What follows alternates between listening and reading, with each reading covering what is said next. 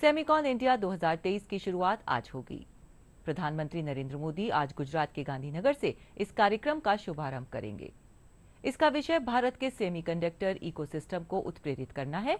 वहीं इसका उद्देश्य उद्योग, शिक्षा, अनुसंधान संस्थानों से जुड़े विश्व स्तर के व्यक्तियों को एक साथ लाना है। प्रधानमंत्री नरेंद्र मोदी आज गांधीनगर के महात्मा मंदिर में सेमिकॉन इंडिया 2023 का उद्घाटन करेंगे। इस अवसर पर वे सभा को भी संबोधित करेंगे। सम्मेलन का विषय है भारत के सेमीकंडक्टर इकोसिस्टम को उत्प्रेरित करना। इसका उद्देश्य उद्योग जगत, शिक्षा जगत और अनुसंधान संस्थानों से जुड़े विश्व स्तर के अग्रणी व्यक्तियों को एक साथ लाना है। यह भारत की सेमीकंडक्टर रणनीति और नीतियों को प्रदर्शित करता है।